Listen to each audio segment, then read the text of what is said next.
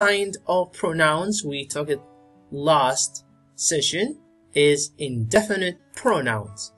As we said before, an indefinite pronoun doesn't refer to any specific person, thing, or amount.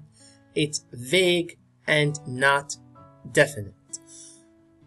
Okay, so we have rules of indefinite pronouns. Three rules. Always singular, such as anyone, everyone, someone, anybody. If you see any of those pronouns, you you must know the is eh, it's a singular pronoun. Okay, it can be plural, like both, few, many, others, and several.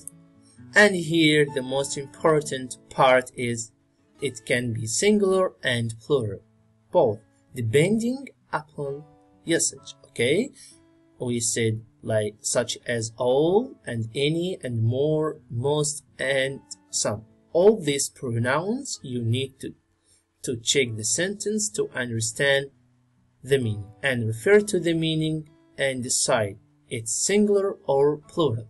Okay, check this example. All the fruit is good. All the be the pears are good. Okay, I hope that you enjoy this video. If you find any something difficult, you can stop the video